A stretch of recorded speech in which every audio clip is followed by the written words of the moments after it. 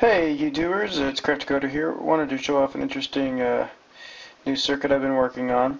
This goes along with my uh, motorcycle power supply and I've decided to dump the fuses in the design and go with a completely solid state uh, device that can be potted and is therefore impervious to water and weather and grime and oxidation and everything since motorcycles are a tough environment. So what we have here is a, uh, in this case, an Arduino microcontroller just to uh, do some basic logic.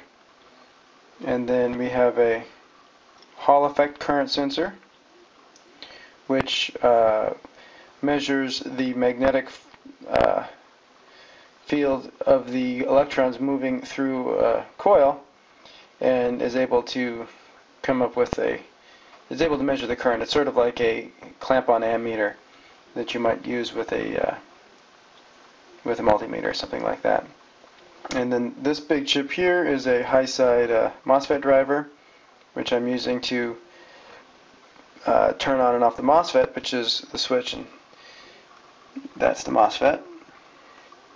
And these two little guys here are uh, uh op amps, and I'm going to be using those because eventually the uh, I'm going to be using an ARM Cortex uh, microcontroller that runs at 3.3 volts but the uh, the current sensor runs at 5 so I'm going to have to do a little bit of analog magic.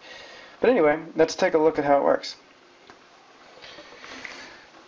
Right now in software the device is set to shut off at 2 amps. So let's connect the Arduino to the uh, driver and now you can hear the cooling fan on the uh, electronic load and I'm going to turn up the current a bit. You can see we're getting up to about an amp here. And since it's set to 2 amps nothing happens. Now we got up to about almost 2 amps. And it hung out there for a while and decided it was too high. Again. So let's get it to 1 and 3 quarters now, of course, in this situation, I have it set to just automatically turn the circuit back on because uh, I'm just doing testing, so I don't want to have to reset it and turn it off and on each time. But in practice, I would set it up so that you'd have to uh, go to your phone and reset the circuit via Bluetooth in order to uh, have that circuit turn back on again.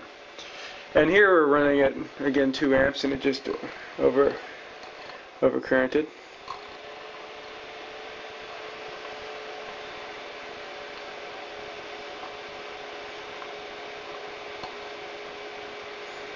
Right now we're just hovering there. And eventually it's going to pop. Because eventually it's going to it's going to sense too much current going through there. And I do a little bit of averaging and stuff like that so that it can handle a little bit of uh, transient overcurrent without exploding. But that's all done in software and it looks like it's working pretty well. So I'm going to go ahead and uh, expand on the idea and see how it works. And I'll show you guys that as I move on.